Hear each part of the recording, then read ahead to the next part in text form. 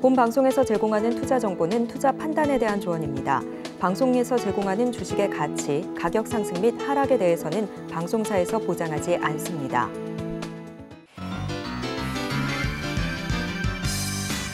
시청자 여러분 안녕하세요. 베스트 트레이딩맨 일부 주식 일타 강사 저는 진행의 김혜연입니다. 2024년 우리 시장의 시작이 굉장히 좋았습니다. 사실 연말부터 시작된 이 상승 랠리로 인해서 그 부담감으로 초반에는 부진한 모습을 보였지만 그래도 우리 시장은 후반으로 갈수록 더욱더 강한 모습을 기록을 해줬습니다. 삼성전자 같은 경우에는 장중에 79,900원 선까지도 올라오는 모습이 포착이 됐었고요. 오후장 들어서 이 셀트리온잭이 강하게 움직이면서 코스닥의 지수도 강하게 또 끌어올려주는 모습도 포착이 됐습니다. 이렇게 시작이 좋은 우리 시장 에서 매매 첫 단추 잘 채워보고 싶다 하시는 분들 오늘도 저희 방송과 끝까지 함께 보시면 좋을 것 같고요. 오늘의 강사님과 함께 할 수 있는 방법도 큰 화면을 통해서 만나보시죠.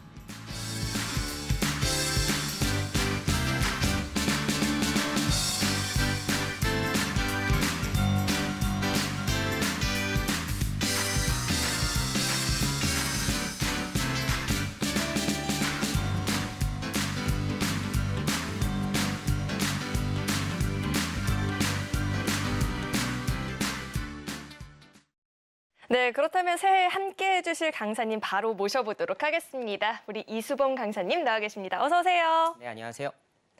네, 전문가님 첫 거래일 시작이 굉장히 좋습니다. 반도체 종목들도 강했고 제약주들도 강한 시세를 보여줬는데 우선 오늘장 어떻게 보고 계실까요?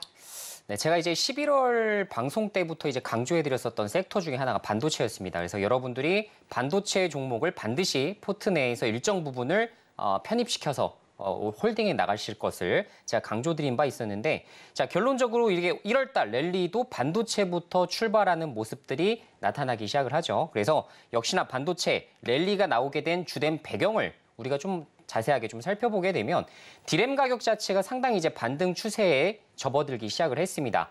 제가 말씀드렸지만 그동안 감산 효과로 인한 가격 상승분을 우리가 맞이하고 있었던 상황이었는데 지금 거기에 이어서 가동률 증가까지도 지금 어, 반도체 지금 회사들이 고민을 해보고 있다라는 소식이 또 전달이 되기 시작하면서 관련된 어, 시세가 유입되기 시작을 하고 있고요.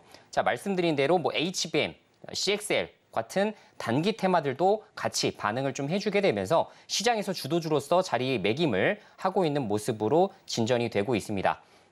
자, 삼성전자 같은 경우도 지금 8만 선을 지금 돌파를 또 목표를 또 잡고 있는 만큼 추가적으로 상승 여력이 좀 남아 있기 때문에 앞으로 반도체 종목들의 추가 랠리 양상들을 여러분들이 지켜보셔야 될 때라고 말씀을 좀 드려보고요. 제가 이제 지속해서 말씀드리지만 지금은 반도체 종목 중 이미 다 급등 나온 종목들을 뒤늦게 쫓아 들어가시는 것보다는 아직 저평가된 반도체 종목들이 너무나 많습니다. 그리고 어, 시장에서 역시 저도 이런 종목들을 많이 매매를 좀 하고 있는데 지금 현재 말씀드린 대로 만약에 공장 가동이 증가가 되었을 때 가장 필요로 하는 부분이 뭘까? 여기에 대한 힌트 부분만 여러분들이 잘 인지하셔도 아 내가 이쪽 섹터를 잡아야겠구나라는 생각이 드실 텐데 정답은 소재 쪽이죠, 소재. 그래서 반도체 소재 쪽 아직 안 올라간 종목들 상당히 많고요. 지금 PER value 어, 지금 평균적으로 봤을 때 20배에서 25배 사이에서 거래되고 있는 기업들이 상당히 많습니다. 자, 올해 가동률이 굉장히 부진했음에도 불구하고 어, 사실상 다시 어, 주가가 상승 추세로도 접어들 수 있고 말씀드린 대로 가동률이 7, 80%까지도 올라가는 시기가 나오게 된다면 여러분들이 다시 한번 어떻게 된다? 반도체 소재 쪽 랠리 양상 나타날 수가 있기 때문에 반드시 꼭 기억해 두시면 좋을 것 같습니다. 네, 우선 오늘 장에 대해서도 분석을 들어봤고요. 그렇다면 특별히 오늘 준비해 주신 강의의 주제는 또 어떻게 될까요? 네, 오늘 같은 경우도 사실 이제 선뉴스 테마주 관련해서 여러분들께 좀 준비를 좀 해봤고요. 제가 이제 기, 어, 기존에 이제 여러분들에게도 강조해드리는 사항 중에 하나인데 테마주 관점은 기대감이기 때문에 여기에 한해서 우리가 포커스해야 되는 어, 이런 매매 방법이 선뉴스 매매다 말씀을 드렸죠. 자, 그거에 이어서 후속 관련된 뉴스를 제가 준비를 했으니까요. 오늘 내용 꼭 끝, 끝까지 잘 숙지하시면 좋을 것 같습니다. 네, 한 발 먼저 시장을 대응할 수 있는 그 전략에 대해서 오늘 강의에서 짚어주시겠다 이야기해 주셨는데 잠시 후에 강의는 자세하게 만나보도록 하고요. 이렇게 일주일에 한 번 시장에 대한 힌트를 듣기가 너무 아쉽다 하시는 분들은 노란 톡방이 열려 있으니까요. 입장해 보시길 바라겠습니다. 입장하시면 또 올해부터는 공개 방송도 장 전에 진행을 해 주신다라고 하니까 입장하시고 시장에 대한 힌트를 매일같이 챙겨가 보시면 좋을 것 같습니다. 입장하실 수 있는 방법은요. 문자 받는 번호 샵 0082번으로 이수범 이름 석자 적어서 보내주셔도 되고요. 하단에 나오고 있는 QR코드 스캔하시면 바로 입장 가능하니까 들어오셔서 보다 더 자세한 시장 이야기 챙겨가 보시길 바라겠습니다. 네, 저희는 이어서 다음 코너 만나보겠습니다.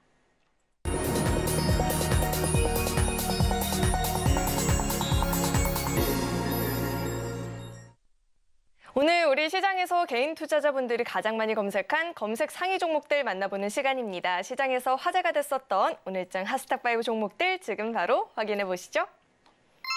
네, 우선 오늘 상한가 마감을 보였던 종목들도 눈에 띄고 있습니다. 셀트리온 제약, 현대 비엔제 스틸이 나와 있고요. 삼양식품이 또 장 초반부터 강한 시세를 보여주면서 오늘장 52주 신고가 새롭게 경신하는 모습도 포착이 됐습니다. 자, 우선은 종목들 종가부터 살펴보도록 하겠습니다.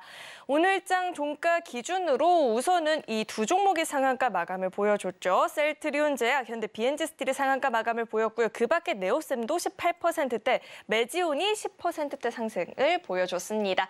자, 이어서는 장중 주가 흐름도 살펴보도록 하겠습니다. 자, 우선 첫 번째로 셀트리온 제약부터 살펴보도록 하겠습니다. 셀트리온이 이 셀트리온 헬스케어 흡수 합병한 첫날인 오늘 52주 신고가 경신을 했죠. 제약도 같이 강하게 움직여주면서 상한가 풀리지 않으면서 마감된 모습이었습니다. 자, 이어서 다음 종목도 만나보시죠. 다음은 삼양식품입니다. 오늘 장 8% 넘는 상승을 보여주면서 종가를 형성을 했는데요. 장 초반부터 강하게 움직여줬었죠. 52주 신고가도 경신을 했는데 이 강세 배경으로는 회사 측이 올해 글로벌 수출 등 이 청사진을 제시했기 때문에 이 기대감이 반영이 됐다라는 풀이들이 나오고 있습니다. 자, 이어서 다음 종목도 만나보시죠. 다음은 메지온입니다. 오늘 장에서 급등을 보여줬죠. 제약주들이 또 이 JP모건 헬스케어 컨퍼런스를 앞두고 힘을 좀 받고 있는 모습인데요. 이 탄력이 풀리지 않으면서 10%대 상승을 기록을 해줬습니다. 자, 이어서 다음 종목도 만나보시죠. 다음은 네오셈입니다. 오늘도 이 CXL 테마주들이 강하게 움직여줬습니다. 네오셈은 4거래 연속 상승을 하는 모습을 보여줬고요. 오늘 장에서는 52주 신고까지 경신, 신고가까지 경신을 하면서 18%대 오름세를 보여줬습니다. 자, 이어서 마지막 종목 살펴보도록 하겠습니다. 현대 BNG 스틸도 상한가 마감을 보였는데요. 이 현대 BNG 스틸이 최대 주주로 있는 성림 첨단 산업이 상장을 추진한다는 소식에 힘을 받는 모습이었습니다. 국내 유일의 희토류 영구 자석을 생산하는 업체라고 하는데요. 이 같은 기대감에 힘을 받는 모습이었고요. 자, 이렇게 오늘장 핫스탁5 종목들이 공개가 됐는데 이어서는 강사님과 함께 한 종목 한 종목 좀 자세하게 분석을 해보도록 하겠습니다. 강사님 우선 상한가 마감을 보인 종목도 있고요. 우리 강사님의 1타 주식도 나와 있는데 우선은 가장 화제가 됐었던 셀트리온 제약부터 이야기를 들어볼까 합니다. 이 종목 저희가 어떻게 분석을 해봐야 될까요? 일단 셀트리온은 이제 최근에 이제 가장 좋은 흐름을 보였었던 이제 바이오 제약주 중에 이제 하나라고 말씀을 드릴 수가 있을 것 같은데요. 아시겠지만 이제 셀트리온과 셀트리온 헬스케어의 1차 합병이 완료가 되면서 거기에 대한 이제 수혜주, 사실 passive 자금들이 상당히 많이 들어왔습니다. 그래서 기관과 외국인의 전격적인 매수세 유입을 통해서 최근에 주가가 상당히 좋았었던 종목이었는데 자, 이후에는 어떻게 되겠어요? 1차 합병했으니까 이제 2차 합병으로 넘어가야 되는 수순을 밟게 될 수밖에 없겠죠. 거기에 해당되는 셀트리온 제약이 또 수혜 주로 또 거듭나면서 어, 오늘 장중에 이제 상한가에 육박하는 이런 시세가 유입되었다. 이렇게 말씀을 드릴 수가 있을 것 같습니다. 자, 결론적으로 셀트리온 그룹을 여러분들이 이제 재료상 급등을 한 것이지 펀더멘탈적으로 뭔가 바이오 시밀러 제품이라든가 임상에 대한 어, 후속 이런 부분들이 굉장히 좋은 평가를 받았기 때문이 아니라는 사실을 잘 알고 계셔야 됩니다. 따라서 이렇게 재료성 상승이 나왔을 때에는 아 이벤트를 앞도 이벤트를 이제 또 끝, 끝으로 주가가 이제 갑자기 또 큰 폭의 하락이 나올 수가 있겠구나 정도로 인식하시면서 어, 진행을 하셔야 된다라는 말씀을 좀 드려보고요. 자 말씀드린 셀트리온 제약에 대한 이제 합병 부분도 올해와 내년에 걸쳐서 이제 진행이 될 예정이기 때문에 여기에 대한 가이드가 또 어떻게 추후에 제시되는지를 한번 평가해 보실 필요가 있다라는 말씀 드려보도록 하겠습니다. 그래서 지금 현재 기업 가치적으로 좀 봤을 때에도 어, 사실 서정진이 대표이사로 다시 한번 취임을 하기 시작하면서 뭐라고 그랬냐면 바이오시밀러 제품을 연간 세 개 제품을 좀 출시를 하겠다라는 부분들도 주주들에게 약속을 한 바 있거든요. 그러면 이제 향후 5년간 15개 제품 정도가 런칭을 하게 되고 거기에 따라서 뭐 램시마와 같은 정말 또 독보적인 블록버스터 품목들이 또 런칭이 가능하게 된다면 향후 매출과 영업이익의 상, 어, 성장은 당연히 따놓은 당상이라고 말씀을 드릴 수가 있을 것 같아요. 하지만 이런 부분이 다시 한번 현실화되는지는 추적 관찰이 좀 필요한 부분이기 때문에 가급적이면 어, 기업 가치상 새롭게 어, 품목이 어떤 것들이 지금 런칭이 되는지 유무를 좀 체크를 좀 해주시길 부탁을 드리겠고요. 자, 지금 셀트리온 제약 지금 차트를 좀 보게 되더라도 상당히 좋아요.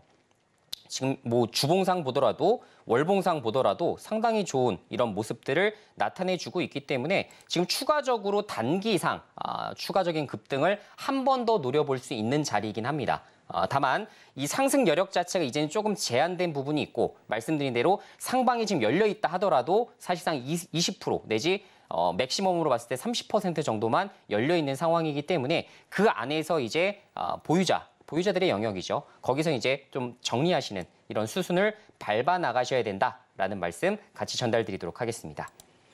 네, 셀트리온 제약 추가적인 상승 여력은 남아 있지만 이 뉴스의 지속적인 팔로우업은 필요해 보인다라는 이야기 들어봤으니까 참고해 보시길 바라겠고요. 저 이어서는 매지온도 굉장히 궁금한 게 우리의 1타 주식으로 또 제시를 해 주셨던 종목인데 시세가 굉장히 잘 나왔었거든요. 이 종목은 저희가 또 어떻게 전망해 봐야 될까요? 네, 메지온 종목은 역시나 뭐 사실 어, 이번 이제 JP 모건 헬스케어 컨퍼런스를 앞두고 있었던 종목들이 오늘 이제 전반적으로 바이오 종목들을 좀 리뷰를 좀 해보면 아시는 아시다시피 지금 대다수의 JP 모건 헬스케어에서 좋은 성과를 낼 수 있겠다라고 판단된 종목들이 sell on 현상으로 급락이 나왔습니다. 자 반면에 그렇지 못하고 어, 사실 메지온 같은 경우는 지금 제가 말씀드린 대로 어, 지금 단심실증 관련된 치료제인 어, 관련된 부분이 임상 3상이 올해와 내년 베이스로 지금 이제 발표가 될 예정으로 볼 수가 있는데요. 이런 것들을 오히려 앞두고 있는 곳들이 주가 상승세가 오늘 좀 돋보였다. 이렇게 좀 평가를 할 수가 있을 것 같습니다. 자, 그래서 매주온 종목 제가 말씀드린 대로 어, 지금 추가적으로 상승 여력이 상당히 많이 남아 있는 종목 중에 좀 하나예요. 그래서 말씀드린 대로 중장기적 관점에서만 좀 접근을 할 것을 아, 요구를 좀 하고 있고 지금 주봉과 월봉상 본다 하더라도 아직은 지금 맥시멈까지 좀 자리가 상당히 많이 남아 있죠. 그래서 이런 구간까지도 다시 한번 도래할 가능성이 있기 때문에 만약에 보유하신 분들이 좀 계시다라고 한다면 목표 주가를 산정하시는데 좀 도움이 되셨으면 좋겠고 자 이번에 사실 메지온의 임상에 대해 많은 사람들이 관심을 갖고 있는 이유가 어, 제가 말씀드린 대로 미국 시장에 동반적으로 진출해서 지금 직판매까지 가능한 유일한 지금 회사가 메지온입니다. 그래서 앞으로 여기에 대한 어, 퍼포먼스를 좀 내갈 수 있는 어, 기업이기 때문에 여러분들이 요 관점을 잘 유지를 좀 해주시면 좋을 것 같고 기존에 좀 밀려 있었던 오늘 JP모건 헬스케어 관련된 어, 수혜주들도 오늘 좀 sell on 현상이 좀 나오긴 했지만 사실 추후적으로 더 볼 만한 이벤트들이 많아요. 자, 그리고 예전에 제가 말씀드린 거 혹시 기억하실지 모르겠지만 보통 1월 달에 JP 모건 헬스케어를 끝으로 바이오주들이 좀 밀리는 현상들이 간혹 나옵니다. 이거는 데이터상 거의 그렇게 지금 진행이 돼 왔어요. 근데 제가 그때도 지, 어, 지난주에 제가 그 추천을 드리면서도 말씀을 드린 부분인데 보통 바이오주들의 이런 회복은 언제 나오냐? 2월 달, 3월 달에 강하게 나옵니다. 확률이 80%가 넘어요. 그래서 2월 달, 3월 달까지도 내다보고 그리고 제가 이따 이제 강의에서도 조금 관련된 부분을 좀 언급을 드리겠지만 실제 4월, 5월, 6월 달에 굉장히 큼지막한 이벤트들이 줄지어 있습니다. 그래서 그것을 앞서서 선반영 시켜놓는 경우들이 상당히 많기 때문에 바이오주 오늘 조금 내가 보유한 종목이 하락했다 하더라도 너무나 이제 크게 겁먹지 마시고 편하게 좀 홀딩하셔도 괜찮다라는 말씀 다시 한번 당부 말씀 드리겠습니다. 네, 이렇게 오늘 또 강한 시세를 보여줬었던 일타 주식에 대해서 좀 이야기를 들어봤는데 매지온 이야기를 듣다 보니까 알테오젠도 굉장히 좀 궁금해지거든요. 제시해 주신 이후에 5% 넘는 상승을 보여주긴 했는데 알테오젠은 저희가 또 어떻게 좀 지켜봐야 될까요? 자, 제가 말씀드린 대로 사실 JP모건 헬스케어에서 가장 또 주목받고 있는 기업이 이제 알테오젠이라는 말씀을 좀 드린 바 있었고요. 자, 뭐 어, 어떤 식으로 이제 기업이 좀 전개가 될지 저도 좀 궁금하긴 합니다만 단기 추세가 가장 살아있는 종목이기 때문에 이런 종목들은 우리가 들고 가는 관점도 괜찮다라는 말씀을 좀 드린 바 있었습니다. 다만 중장기적 관점보다는 단기적인 관점에서 스윙으로 좀 수익을 내시는 이런 전략들이 좋다라는 말씀도 같이 드렸었는데요. 자, 이거 보시다시피 오늘 주가가 7%가량 빠졌어요. 자, 그런데 한번 봅시다. 자, JP모건 헬스케어에서 지금 세 종목 정도가 가장 지금 어 지금 추후에 기술 이전 가능성이 높다라고 평가를 받고 있는데 자, 그중 하나가 펩트론이에요. 자, 펩트론을 보게 되면 오늘 장중에 7.5% 밀립니다. 아까 말씀드린 대로 어, JP모건을 앞두고서 sell on 현상, 즉 먼저 이제 매도를 해버리는 이런 현상들이 발생하고 있다라는 이야기가 되겠고요. 자, 펩트론 외에도 파멥신이라는 종목도 관련된 부분으로 좀 언급이 된 바 있었던 종목들이죠. 자, 파멥신도 어때요, 오늘? 11%나 빠져요. 그러니까 동반적으로 지금 같이 움직이는 현상들이 나타난다는 이야기입니다. 그래서 이런 것들을 이제 어 기업 가치가 뭐 변한 거 아니야? 예, 기술 이전이 다시 또 멀어진 거 아니야? 라는 관점보다는 제가 말씀드린 대로 시기적으로 JP모건 앞두고 sell on 현상이다. 즉 수급적인 요인이 가장 강하게 작용을 한 시장이기 때문에 이것을 또 우리가 기회 삼아서 또 트레이딩 관점으로 또 같이 접근을 좀 하게 된다면 사실상 추가적인 단기 수익을 창출할 수 있는 기회가 반드시 여기에 있다라는 부분 다시 언급드리도록 할게요. 네, 이렇게 제약주 전반의 자세한 분석들까지 들어봤고요. 자, 이어서는 다음 상한가 종목에 대해서도 이야기를 좀 들어볼까 합니다. 현대 비엔즈 스틸이 오늘 상한가 마감을 보였거든요. 최대 주주로 있는 이 회사의 상장 이슈로 힘을 받았다라고 하는데, 자, 이 종목은 저희가 어떻게 좀 전망해 봐야 될까요? 네, 보통 이제 자회사들이 뭐 이렇게 상장을 앞두고 있는 시점에서는 이제 모회사가 이제 급등해 버리는 경우들이 상당히 많습니다. 자, 두산 로보틱스 상장 당시에도 사실 두산이란 지주사가 굉장히 부각을 받으면서 이제 크게 급등을 한 적도 있었죠. 자, 현대 BNG 스틸도 비슷합니다. 청림 삼, 어, 청담산업, 성림 첨단산업이라는 자회사가 결론적으로 다시 한번 4월 달에 또 예비심사 청구를 신, 어, 신청한다라는 소식 때문에 어, 관련주로서 또 현대 BNG 스틸이 상한가까지 육박하는 시세가 유입됐다라고 보시면 좋을 것 같은데요. 자, 아까 말씀드린 히토류 연구자석을 국내에서 어, 지금 유일하게 생산해내고 있는 업체라고도 하는데 사실 성안이라는 종목도 관련된 것을 같이 준비하고 있어요. 그래서 우리나라 이제 두 개 이제 히토류 탑을 고른다면 성림과 지금 성안입니다. 이렇게 두 가지 관점을 보셔야 되는데 기술적으로 봤을 때 현대 BNG 스틸이 또 가지고 있는 또 장점이 있기 때문에 당연히 이쪽 우위로 볼 수가 있겠죠. 그래서 아 만약에 어, 성림 첨단 산업이 상장을 하게 된다면 또 거기에 따른 또 value 재산정이 또 가능한 시점이기 때문에 어, 추가적으로도 역시나 상한가 이렇게 육박하게 되면 갭상승 또 출발하는 경우가 상당히 많죠. 그래서 갭상승 또 내일 한번 노려보셔도 좋을 것 같고 만약에 이 종목을 내가 추후에 한번 공략을 해보고 싶다라고 하신다면 지금 관점에서 접근하시는 것보다 어떻게 해요? 최소한 주가가 많이 밀렸을 때 진행하시는 게 좋다라는 이야기입니다. 그래서 가급적이면 이렇게 기대감이 형성됐을 때 우리 어떻게 한다? 어, 지금 현재 오, 지금부터 추격 매수 해가야지라는 관점이 아니라 아, 다시 한번 눌림목 구간을 기다리면서 이전에 부각받기 전에 그 주가 수준이 혹시나 다시 한번 도래하게 된다면 이때부터 접근을 해보는 거예요. 왜? 이슈는 4월 달까지 살아있잖아요. 그죠? 그러면 지금 1월 달에 이제 막이 히토류 관련된 부분들이 언급이 됐지만 2월 달, 3월 달 굉장히 조용할 수밖에 없습니다. 자, 그러면 이 중간중간에 어떻게 되겠어요? 다시 기대감이 빠지면서 소멸되면서 주가는 하락할 수밖에 없겠죠. 그러면 이런 종목을 선뉴스로 딱 선정을 하게 된다면 어떻게 되겠어요? 저 같은 경우는 3월 달부터 준비를 합니다. 그래서 이런 관점들을 여러분들이 많이 노력하고 연습을 해보고 추적도 해보고 공부도 해보셔야만 아 내가 이 시점부터 서서히 관심 종목으로 등록해야겠구나라는 사실을 인지하시기 때문에 제 선뉴스 매매법에 따라서 여러분들 그대로만 좀 쫓아가시면 그래도 조금 더 성공 확률을 높여나갈 수 있을 것이다 이렇게 아, 말씀드리도록 할게요. 다시 한번 우리 강사님의 선 뉴스 매매법이 얼마나 중요한지 좀 생각이 드는 분석이었고요. 자, 이어서는 삼양식품 이야기도 들어볼까 하는데 장 초반부터 좀 강하게 올라와 줬거든요. 52주 신고가도 새롭게 경신을 했다라고 하는데 자, 이 종목은 어떻게 좀 연속적인 상승을 저희가 전망해 볼 수 있을까요? 음, 삼양식품이 사실 오늘 올라갈 만한 이슈가 사실은 없었어요. 근데 결론적으로 제가 봤을 때는 수급적인 요인이 가장 강하지 않았을까라는 생각이 듭니다. 자, 최근에 이제 투자자별 매매 동향도 먼저 이제 한번 체크해 드리고 싶긴 한데요. 자, 왜 그러냐면 삼양식품이 기존까지는 누가 주체로서 상승을 시켰냐를 봤을 때에는 외국인 주체였어요. K푸드에 대한 열풍이 불기 시작하면서 거기에 대한 이제 수혜주 관점으로 많이 올랐었고 원달러 환율이 오르면 오를수록 더 유리한 게 수출주죠. 근데 삼양식품은 유일하게 라면주 중에서 수출주입니다. 아시겠지만 어 이제 불닭볶음면이라는 굉장히 또 매운 라면이 있기 때문에 거기에 대한 기호식품으로 가격 자체를 굉장히 높게 받을 수 있다는 장점이 좀 있었죠. 자 오늘 매수 주체가 개인이에요. 보통 오늘 사실 이슈가 있었던 게 이제 그 박순혁 작가 이제 관련된 부분이 또 라면 관련된 부분이 앞으로 굉장히 좋아질 것이다라는 것을 언급하다마자 이제 개인들의 매수세가 좀 붙은 것으로 저는 좀 해석을 좀 하고 있습니다.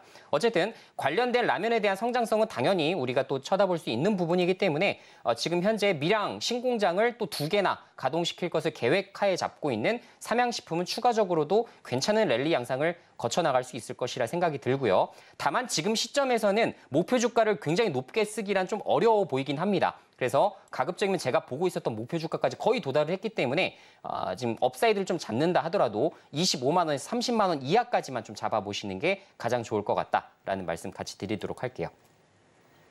네, 25만 원에서 30만 원 이하로 잡아서 대응을 좀 해보자 이야기까지 들어봤고요. 이어서 마지막 종목이 있죠. 네오셈이 있는데 자 CXL 관련한 테마주들이 오늘도 좀 힘을 받는 모습이 나타났었거든요. 자, 이 종목은 저희가 어떻게 좀 보면 좋을까요? 네, 네오셈 같은 종목도 사실은 굉장히 이제 크게 올랐었죠. 그리고 최근에 이제 주가가 이제 급등했었던 이유, 예, CXL 테마로 엮인 이후부터는 계속 추세를 유지를 좀 해주다가 거기서 오늘 또 장 초반부터 굉장히 강한 매수세가 유입되기 시작하면서 24% 고점까지도 이제 올랐었던 그런 종목이라고 볼 수가 있겠습니다. 사실 네오셈을 지금 테마주 관점으로 접근하시는 분들도 상당히 많으실 것 같지만 이 기업 정보를 좀 보시면 예전에 상당히 좋은 성과를 냈었던 기업이기도 해요. 그래서 보시면 영업이 어떻습니까? 매출액 480억에 영업이익 120억 정도를 냈었던 상당히 이제 좋은 어, 회사의 면모를 좀 보였었던 회사인데요. 자, 영업이익률 10%에서 많게, 많게는 지금 24%까지 냈었던 기업이기 때문에 기업 가치가 전혀 없는 기업이다라고 보기도 상당히 어려워요. 그래서 결론적으로는 펀더멘탈 플러스 뭐라고 했죠? 차트적인 부분, 이런 지금 재료적인 부분들이 같이 겸비되기 시작하면서 오늘 장중에 큰 급등이 연출이 되었다. 이렇게 말씀을 드릴 수가 있을 것 같습니다. 다만 지금 CXL 테마에 대해서 너무나 지금 긍정적으로 해석하시는 분들도 너무나 많고 현재 시장에 워낙에 주도주다 보니까 이 종목을 무조건 끌고 가야 된다라는 이런 욕심도 생기기 마련이거든요. 자, 그런데 저는 계속 말씀드리지만 반도체 싼 종목들이 너무나 많아요. 지금 제 눈에 보이는 보석들이 너무나 많습니다. 그런데 굳이 지금 이렇게 상당히 고평가를 받고 있고 CXL 테마가 실적으로 연결되기까지 걸리는 시간들이 상당히 크게 아, 지금 시간이 요구가 되는데도 불구하고 너무 이 종목들만 랠리 양상이 펼쳐지고 있다는 것은 저는 사실 좀 부정적으로 볼 수밖에 없는 국면이라고 생각을 하고 있습니다. 따라서 만약에 내가 반도체 종목들을 신규로 들어가게 된다면 말씀드린 대로 조금 더 저렴한 종목들을 진입하시는 것을 좀 권고드리도록 하겠고 만약에 내가 현재 네오셈과 같은 이런 테마주들을 좀 잡고 있다.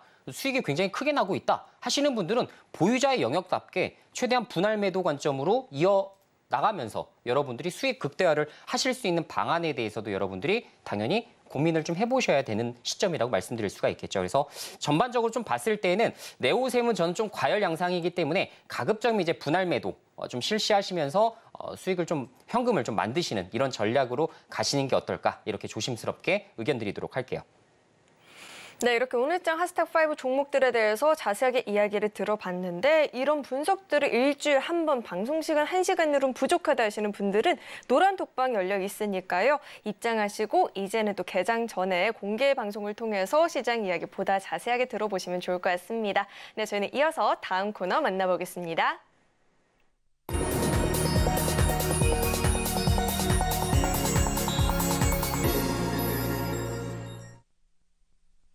네, 이제는 본격적으로 오늘의 1타 강의를 또 들어보는 시간인데요. 아직도 기억나는 게 첫 출연 날 선뉴스 매매법에 대해서 이야기를 주셨는데 아니나 다를까 최근 시장에서 움직이는 종목들이 또 관련 뉴스 테마주들이 움직이고 있더라고요. 그래서 강의가 너무나도 궁금한데 오늘 준비해 주신 내용 또 어떤 내용일까요? 네, 이제 선뉴스 매매법에 대해서 여러분들이 조금만 더 진짜 확신을 가지고서 좀 공부를 좀 하게 되시면 이 매매법이 얼마나 지금 사실 적중률이 높은지 그리고 여러분들이 얼마나 단기 수익을 빠른 시일 내에 또 챙길 수 있는지 이런 부분들을 준비를 좀 해볼 수가 있을 것 같아서 제가 후속된 선뉴스 매매법 관련된 부분 교육을 오늘 다시 한번 또 준비를 해봤습니다. 자, 제가 항상 말씀드리지만 먼저 준비할 수 있는 뉴스를 우리가 선뉴스라고 표현한다라고 말씀을 드렸었죠.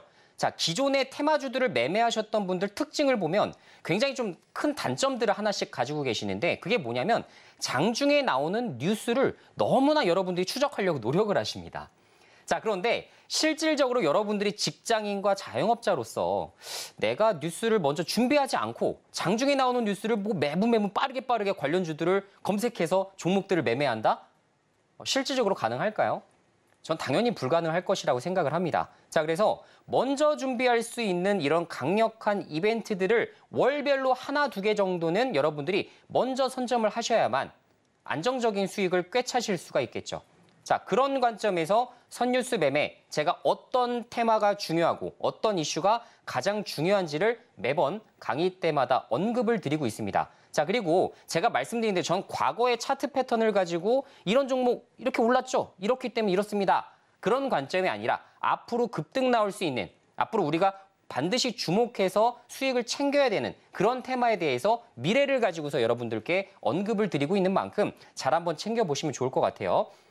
자, 제가 11월, 12월 달부터 여러분들에게 강조해드렸던 딱 두 가지 테마 기억하시죠? 뭐였습니까? 1월 달엔 선윤수 딱 두 개만 기억하면 된다. 첫 번째 CES, 두 번째 JP모건 헬스케어 컨퍼런스였습니다. 그죠? 우리가 가장 강력한 거 없어요. 다른 건 없습니다. 장중에 어떤 뉴스가 나온다 하더라도 이 두 가지를 넘어서는 테마가 나올 수가 없는 거예요. 그래서 반드시 이 두 가지 테마만 준비하더라도 우리가 수익 낼 수 있겠죠. 자, 그러면서 제가 설명드렸던 게 뭐였습니까? 너무나 뻔해요. IT가 뭐예요? 반도체 쪽이죠. 그다음 바이오. 맞습니까? 이렇게 두 가지를 강조를 제일 많이 드린 거예요. 자, 로봇은 제가 말씀드린 대로 2024년도에는 좀 기대해 볼 만한 것들이 의외로 없을 수도 있습니다. 라는 관점까지도 제가 지난 방송에서 한번 언급드린 바 있었는데 자, 결론적으로 이런 것들 우리가 챙겨 봐야 된다는 이야기가 됩니다. 자, 보게 되시면 자, 지금 현재 보면 12월 달에 바이오주가 급등이 나왔어요. 그죠? 다 기억하시죠? 12월 달에 1월 달을 앞서서 미리 선반영되는 효과들이 발생을 했다라는 이야기가 됩니다. 자, 그런데 거기서 JP모건 헬스케어 관련된 종목들만 올랐으면 아, 아직은 바이오주들이 더 갈 여력이 남아있구나라고 생각할 수가 있는데 아시겠지만 연관 없는 중소형 바이오주들도 급등을 했어요. 그러면 이것을 뭐냐? 저 같은 경우는 단기 고점 시그널로 인식해버립니다. 아, 앞으로는 조금 갑자기 큰 변동성이 나오면서 주가가 하락할 여지가 있겠구나라는 생각을 하게 되는 거죠. 자, 그러면 저 같은 경우 어떻게 하겠습니까? 저도 사실 바이오 종목들을 상당히 좀 매매를 하고 있고 보유한 종목들도 있는데 지금 저는 바이오주 찐 종목만 들고 있어요. 자, 지금 앞으로 아까 말씀드린 대로 2월 달, 3월 달, 4월 달 크게 갈 수 있는 종목들을 지금부터 선점해야 된다라는 생각을 가지고 있는 겁니다. 자, 2024년도에는 바이오주가 분명히 핵심이 될 거예요. 지금 당장 단기적으로 10% 빠져요, 5% 빠져요. 이게 중요한 게 아니에요. 지금 앞으로 50%갈 거, 100%갈 거 이런 것들을 지금 찾아 나서서 최대한 값싸게 선점을 하셔야만 여러분들이 지금 하반 아, 지금 상반기 올해 상반기에 큰 수익을 내갈 수 있는 부분이 있다라는 말씀 다시 한번 드려보고요. 자, 아까 말씀드린 그대로죠. 1월 달에 옥석 가리기 진행될 것이다. 장중에 이렇게 흘러내림 이런 현상들이 간혹 발생할 수 있습니다. 하지만 이 시기에도 내가 가진 어, 바이오 종목의 임상이라든가 파이프라인을 정확하게 내가 분석할 수가 있다라고 한다면 이런 종목도 들고 갈 수 있겠죠. 자, 그리고 아까 말씀드린 대로 2월 달, 3월 달에 보통 큰 상승이 나와요. 왜? 4월 달에 AACR, 5월 달에 아스코, 6월 달에 바이오 US까지 보통 이렇게 지금 3개월에 걸쳐서 이벤트가 진행되는 부분이기 때문에 거기에 해당되는 것들을 여러분들이 잘 인식하셔야 된다는 이야기가 됩니다. 자, 그래서 보통 어, 지금 말씀드린 대로 상반기에 바이오를 봐야 되는 이유 이렇게 좀 보실 수가 있는 거고요. 자, 그래서 지금은 제 생각에는 바이오주들보다는 오히려 뭘 봐야 되냐? 지금 시점을 봤을 때에는 아까 말씀드린 대로 반도체 쪽, 그죠? 반도체 쪽, AI 쪽 이런 것들도 우리가 관심을 좀 두실 수가 있는데 자, 이거 보시는 대로 AI가 미래다. 삼성과 LG에서 CES 2024에서 가전 혁신으로 승부한다라는 뉴스 이렇게 보이시죠? 자, 모두를 위한 AI가 지금 8일 날 관련된 이슈가 좀 뜹니다. 자, 그렇게 되면 AI 관련된 게 뭐 있어요? 하드웨어 관련해서는 뭐겠습니까? 반도체예요. AI 열풍이 불면 결론적으로 반도체 수요가 그만큼 늘어나게 되고 더 고품질의 반도체를 요구할 수밖에 없습니다. 그리고 비하드웨어 부분은 뭐겠어요? 자체적인 소프트웨어를 보유하고 있거나 설계 디자인 솔루션 이런 것들이 해당될 수가 있겠죠. 그래서 여기에 관련해서도 관련된 종목들을 어, 조금 매수를 좀 해보게 되시면 상당히 좋은 어, 성과를 내실 수 있는 지금 저점 단계다라는 말씀을 좀 드려보고요. 자, 실제로 이렇게 관련된 종목으로 볼 수 있는 게 엠로라는 종목이 있습니다. 자, 엠로를 좀 보게 되면 어때요? 지금 현재 AI 기반 소프트웨어 전문 업체로서 최대 주주가 삼성 SDS입니다. 삼성이 과- 만약에 AI 사업을 조금 더 확대하고 싶다 이런 생각을 갖고 있다라고 한다면 본인들이 보유한 지분, 그러니까 본인들이 지분을 보유한 업체와 어떻게든지 시너지 효과를 내기 위한 노력들을 많이 기울일 수밖에 없겠죠. 다른 데 외주 줄 이유가 전혀 없잖아요. 그죠? 그렇기 때문에 지금 엠로라는 기업 자체를 키울 목적으로 AI 쪽은 엠로, 예를 들어 자율주행은 에이테크 솔루션 이런 식으로 본인들이 이제 어떻게 하다는 거예요. 지금 가이드, 지금 청사진들을 계속 만들어 나가고 있는 겁니다. 그래서 엠로라는 종목도 지금 현재 사실 주가가 많이 안 올랐어요. 그리고 지금 현재 기대감이 많이 반영됐다라고 보기에도 상당히 어려운 주가 수준입니다. 지금 보시는 대로 주가 급등했지만 눌림목을 12월 한 달 동안 내리 하락을 했었거든요. 그러다가 이제 1월 달에 다시 한번 조금씩 움직이는 모습들이 포착되는데 말씀드린 대로 모두를 위한 AI 과정에서 필요한 이런 엠로라는 종목이 추가적으로 좀 움직임이 나타날 수가 있다라는 사실을 우리가 다시 한번 깨달을 필요가 있어 보이고요. 자, 그리고 두 번째 종목, 코난 테크놀로지라는 종목도 있습니다. 자, 이것도 비슷한 관점으로 내, 다볼 수가 있는데, 자, 코난 테크도 AI 관련된 아, 대표적인 또 수혜주 관점으로 볼 수 있는 종목인데요. 자체 개발 대규모 언어 모델인 코난 LLM 자체를 지금 파라미터 410억 개 가량을 학습을 완료한 부분입니다. 지금 이제 글로벌 빅테크 기업들이 지금 1조 개까지 지금 학습 완료된 것들이 상당히 많아요. 물론 그것에 비해서는 상당히 부족한 성과라고 볼 수가 있겠지만 또 국내 시장에서 국내 시장을 아, 바탕으로 또 상당한 또 어, 또 성장을 만들어 나갈 수 있는 종목이기 때문에 코난 테크놀로지라는 종목도 한번 지켜보실 수 있는 관, 심주라는 말씀을 좀 드려보고요. 자, 지금 이렇게 되면 지금 32,650원 정도에서 계속 지금 맴도는 모습들이 좀 나타나는데 결론적으로 뭐겠습니까? 1월 달에 AI 열풍이 좀 분다 하더라도 지금 기대감이 반영됐어요, 안 됐어요? 안 되었다고 봐야겠죠. 그래서 이런 관점으로 볼 때에도 지금 코난 테크놀로지가 지금 추가적으로 어, 지금 상승 여력이 좀 남아 있는 종목이 아닌가 이런 식으로 좀 접근을 해보시는 것도 괜찮다라고 생각이 들, 들고요. 자 그리고 세 번째 같은 경우 솔투룩스라는 기업도 있습니다. 자 여기도 보시다시피 어때요? 자체 개발 루시아를 보유한 기업으로도 많이 알려져 있는 종목인데요. 자 내년도 이제 흑자 전환이 또 유일하게 또 가능한 그런 종목군들로 같이 볼 수가 있습니다. 자 여러분들 지금 제가 말씀드린 대로 선뉴스라는 건 미리미리 저점에서 종목들을 잡아나갈 수 있는 찬스를 마련하게끔 만드는 거를 선유수 매매법이라고 하는데 자 지금 현재 1월 달 이벤트를 앞두고 주가가 전혀 반영이 안 되었다. 라고 우리가 생각을 해봤을 때에는 이런 종목들에서 우리가 뭐겠어요? 남들이 반도체 열풍으로 지금 그런 것들 CXL 테마 완전 고점에서 추격 매수할 때 우리는 저점에서 서서히 분할 매수로 모아나갈 테마군들도 한두 개 정도는 우리가 알고 있어야겠죠. 그런 관점에서 봤을 때 AI 테마 상당히 좋은 위치다라는 말씀을 드려볼 수밖에 없을 것 같습니다. 그래서 솔투룩스도 보통 예전만 하더라도 정말 음, 작년이죠. 작년도 이제 1년 동안 내다봤을 때에도 주가가 올라갈 때는 막 3배, 4배씩 올라가는 종목이기 때문에 자체 개발 루시아를 계기로 관련된 또 흑자 전환이 유일하게 좀 가능한 종목이기 때문에 아무래도 시장에서는 아, 조금 더 안정적인 종목을 선호한다면 뭘 사겠어요? 솔트룩스라는 종목을 또 사볼 수밖에 없는 거죠. 그래서 가급적이면 이렇게 저점 모델에서 우리가 모아나갈 수 있는 이런 테마를 한 가지씩은 우리가 반드시 좀 숙지해 놓자라는 말씀을 좀 드려볼 수밖에 없을 것 같습니다. 자, 결론적으로는 이런 것들을 여러분들이 계속적으로 하나씩 확인해 나가셔야 되고, 자, 제가 예전에도 이 관점 한번 설명드렸었어요. 자, SCI 평가 정보도 뭐라고 그랬죠, 제가? 이거 관련된 매각 이슈가 언제 나온다? 뭐 빠르면 12월, 늦으면 언제? 항상 늦어지니까 1월 달에도 나올 수 있다. 라고 제가 말씀을 좀 드린 바 있었는데 자, 이 이달 말이래. 보통 원래 11월 말이었는데 매각유한 실사 결과가 나올 것이다 라고 전망이 됐지만 이 부분이 늦어지고 늦어지기 시작하면서 지금 12월 말까지도 늦어졌고 거기다가 이제 1월 초까지도 지금 늦어지고 있는 상황입니다. 자, 이제 관련된 이제 주담이랑도 좀 통화를 해보니까 1월 중순, 그러니까 1월 달에는 좀 좋은 소식이 나올 수도 있다. 이런 부분들을 또 언급을 좀 해줬었기 때문에 관련된 부분들 우리가 또 주목을 좀 해볼 필요가 있어 보이긴 하네요. 자, 지금 SCI 평가 정보를 보게 되면 어떻습니까? 결론적으로 저도 이렇게 지금 주가가 급락하고 바닥을 확보하는 이런 과정을 조금 기다려보고 있었는데 어때요? 바닥을 정확하게 이렇게 찍어준 이후에 지금 유의미한, 그죠? 유의미한 반등세가 지금 펼쳐지고 있는 모습입니다. 그래서 매각 관련 실사 결과가 1월 중에 공개가 되면 뭐겠어요? 그때부터는.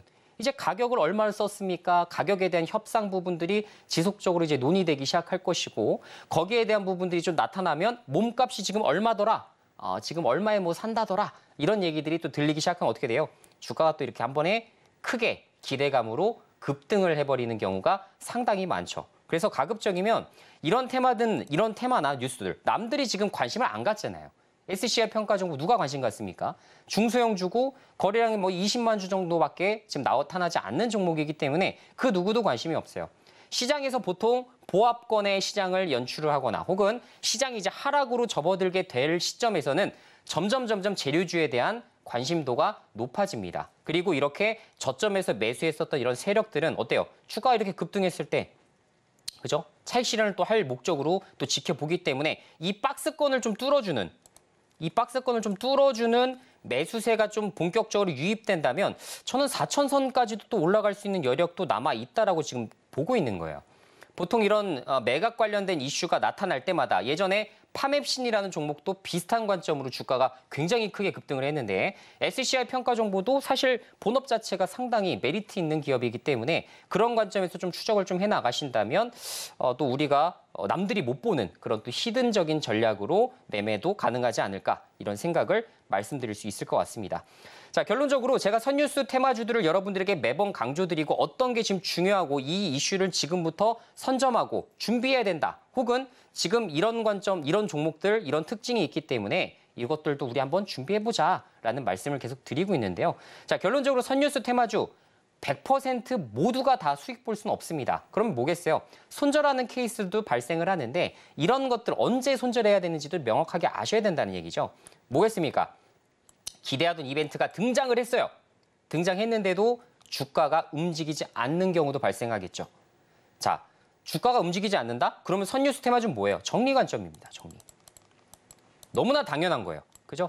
우리가 기대하던 이벤트가 아, 지금 기대감을 불러 일으킬 만큼 강력한 아, 이런 사건이 아니었구나라는 거를 빠르게 감지해서 정리를 해주시면 되는 거예요. 혹은 이벤트가 취소되는 경우 이런 것들 굉장히 중요한 부분이죠. 혹은 뒤로 무기한 연기되는 경우 이런 것들은 좀 피하시는 게 좋습니다. 반면에 SCI 평가 정보는 아직 1월 달에 좀 구체적인 사항들이 나오, 나, 타날 수가 있기 때문에 무기한 연기된 게 아니라 뭐예요? 한 1개월 정도가 연기가 된 거죠. 그렇기 때문에 오히려 바닥권에서 매수할 수 있는 이런 기회가 어, 왔다. 이렇게 표현을 말씀을 드렸던 거고요.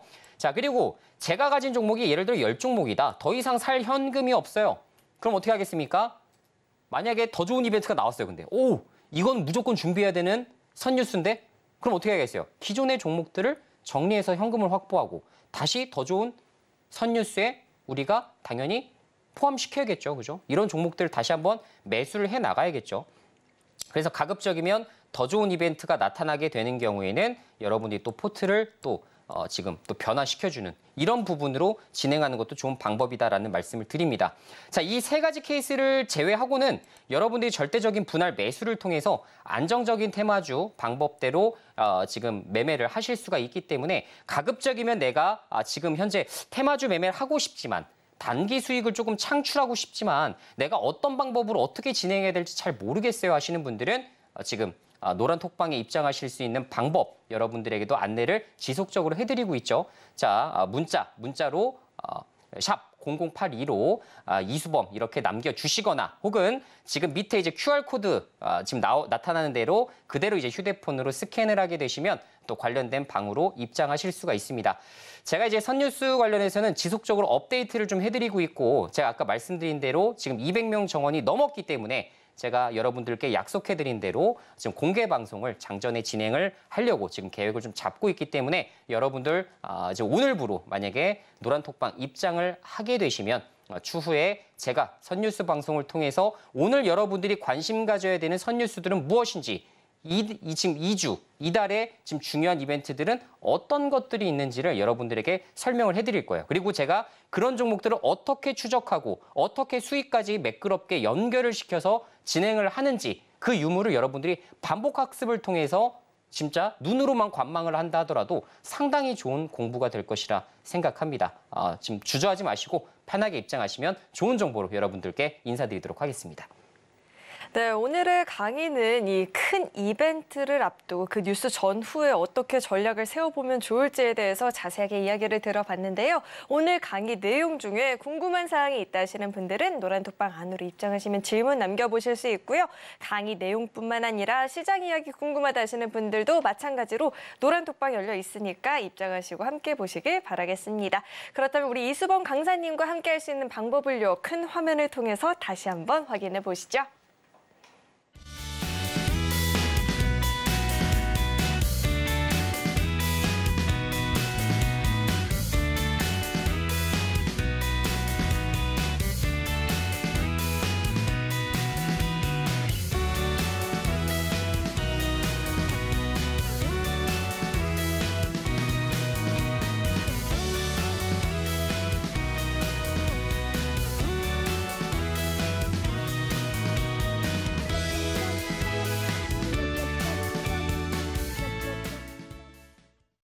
네, 이어서는 오늘의 일타 주식을 만나보는 시간인데요. 이수범 강사님께서는 또 어떤 종목을 콕 집어 오셨을지 우선 이 종목명부터 화면 통해서 확인해 보시죠. 네, 오늘의 일타 주식은 솔트룩스 그리고 코난 테크놀로지 두 종목입니다. 이 두 종목에 대한 구체적인 전략은 노란톡방 안에서만 공개가 된다라고 하니까요. 입장하시고 전략까지도 챙겨가 보시길 바라겠습니다. 네, 오늘의 일타 주식이 이렇게 공개가 됐는데요. 강사님, 아까 강의에서 사실 살짝 좀 힌트를 주셨던 것 같아요. 오늘 종목에 대해서. 이 종목에 대해서 다시 한번 이야기를 짚어주시죠. 네, 사실 제가 이제 2주 전에도 여러분들께 이제 강조를 좀 해드렸었던 또 테마이기도 하고 관련된 종목들을 준비하는데 이제 과정이 시간이 좀 필요합니다. 자, 종목을 내가 오늘 이 종목으로 뭐 수익을 내고 싶다라고 해서 바로 수익으로 연결되는 게 아니죠. 자, 보통은 1, 2주 정도 내가 텀을 가지고서 종목들을 관찰할 수 있는 시간들이 좀 필요하고 제가 말씀드렸지만 제가 차트를 신봉하지는 않지만 어떤 차트 접점에서 움직임을 보, 보여주고 있는지 혹은 바닥에 대한 시그널들은 어디 구간에서 얘네들이 나타나고 있는지를 각 종목마다 특장점들이 모두 다 달라요. 그래서 어떤 것들은 21선에서 움직이고 어떤 것들은 또 5일선에서 움직이는 경우들이 상당히 많습니다. 그래서 저 같은 경우는 이렇게 제가 JP모건, 뭐 CES도 말씀을 드렸지만 이벤트를 이렇게 만들어 놓고 거기에 해당되는 종목들을 뽑고 그 종목들을 관찰하는 시간들을 항상 1, 2주 정도는 두고 있어요. 그렇기 때문에 어때요? 조금 더 탄력적으로 움직이는 것들 혹은 정말 그 법칙에 의해서 움직이는 것들을 내가 공략할 수 있는 그런 포인트들을 맞이할 수 있다 라는 생각을 좀 해볼 수밖에 없겠죠.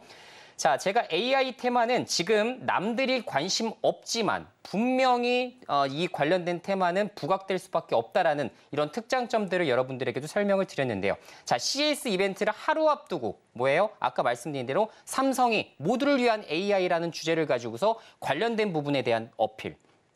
자, 그리고 on-device AI 열풍에 따라서 지금 AI 또 폰, 갤럭시 S24죠. 이런 것들도 지금 추가적으로 오픈될 수 있다는 장점도 또 가지고 있는 이런 부분들이 좀 있습니다. 그래서 지금 이벤트들이 즐비해 있음에도 불구하고 주가가 안 움직여?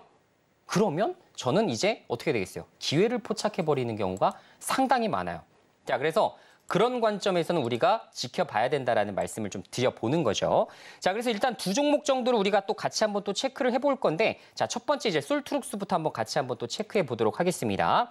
자, 솔트루스 보게 되시면 뭐 차트적인 자리로는 아, 지금 역시나 뭐 테마라든가 이런 재료적인 부분이 전혀 반영되지 않은 주가다. 아, 이렇게 우리가 볼 수가 있겠죠. 그래서 이런 것들을 봤을 때에는 오, 이게 지금부터 준비해야 되는 테마가 맞나라는 생각이 들겠지만 보통 이럴 때 어떻게 됩니까? 다 경험 있으시잖아요. 이러다가 갑자기 재료 하나 딱 터지면 어떻게 돼요? 장대 양봉 이렇게 쭉 나와요. 이때부터 뭐예요? 아, 접근을 못 하시는 분들이 보통 80% 이상이 됩니다. 그래서 저점에 내가 매수해 볼 만한 테마군들이 어떤 것들은 있는가 계속 이렇게 여러분들이 준비를 하셔야 되는데 그렇지 못하는 경우가 상당히 많이 발생해요. 자, 솔트룩스는 예전에도 좀 보게 되시면 굉장히 강한 파동이 계속적으로 이어지는 경우들이 상당히 많아요. 이 주봉 한번 보세요. 어때요? 이 보게 되시면 지금 이렇게 저점 만 원도 안 되던 주가가 테마를 타기 시작하면 4만 원 넘게도 이렇게 테마가 탑니다. 그죠? 제가 말씀드렸지만 올해에는 로봇보다는 무조건 AI예요. 이 관점을 이해를 못하면 지금 로봇 주에서 뒤늦게 이제 추격 매수하거나 이런 관점보다는 오히려 뭐예요?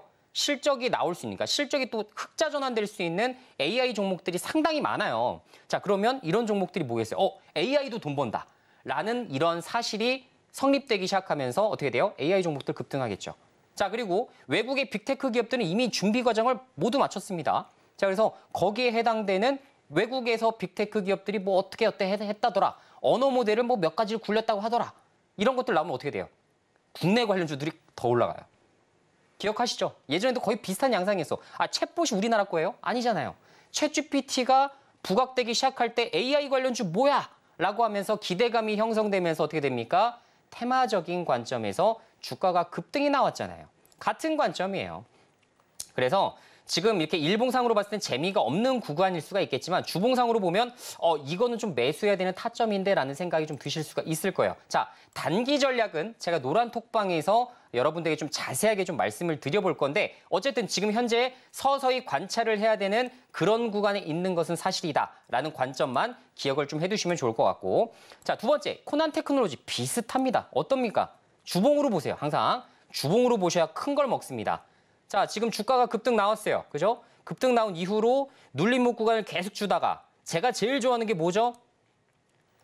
박스권. 그죠? 이 박스권 맴돌 때, 어?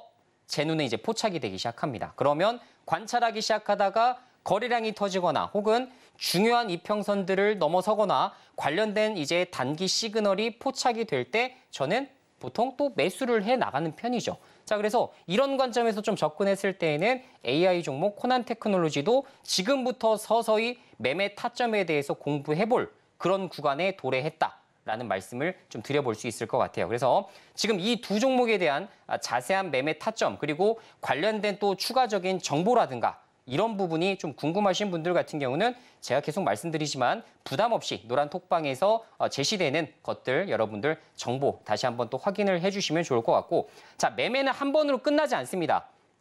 보통 다시 한번 또 저점에서 또 매수할 수 있는 찬스를 만들어 나갈 수 있는 테마이고 말씀드린 대로 내년도 아 올해 올해죠. 올해 상반기 하반기에 또 주력으로 볼 수 있는 어, 섹터 테마 중에 또 하나가 AI이기 때문에 한 번만 수익 내는 게 아니라 다시 한 번 또 눌림목 구간을 도래야 하고 우리가 또 새로운 AI 관련된 선뉴스들 언젠지만 일정들을 정확하게 파악할 수가 있다라고 한다면 거기서 추가적인 어, 창출을 지속해 나갈 수 있다라는 이야기가 됩니다.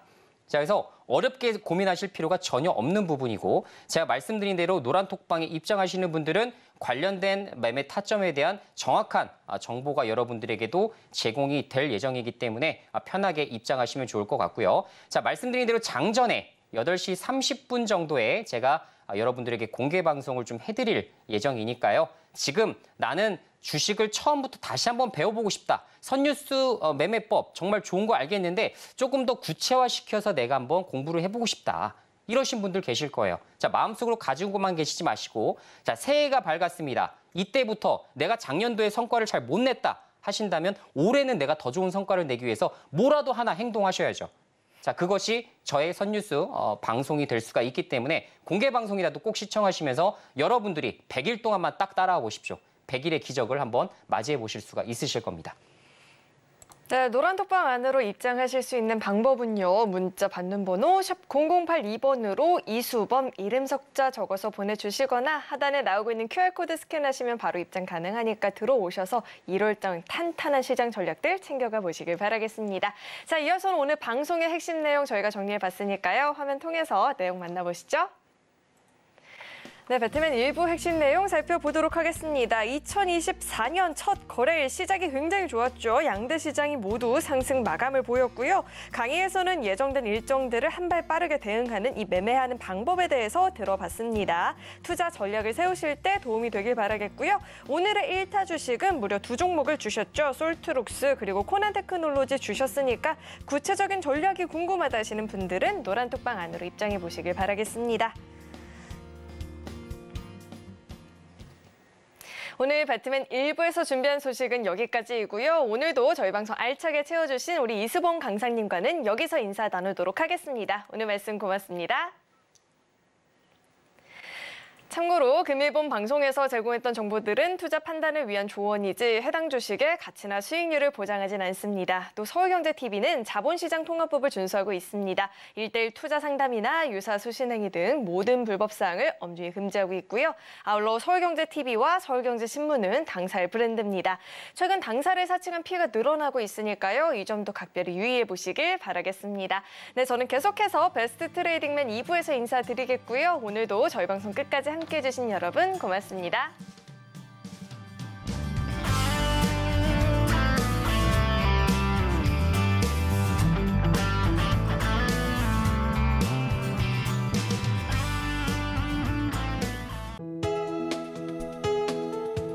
본 방송에서 제공하는 투자 정보는 투자 판단에 대한 조언입니다. 방송에서 제공하는 주식의 가치, 가격 상승 및 하락에 대해서는 방송사에서 보장하지 않습니다.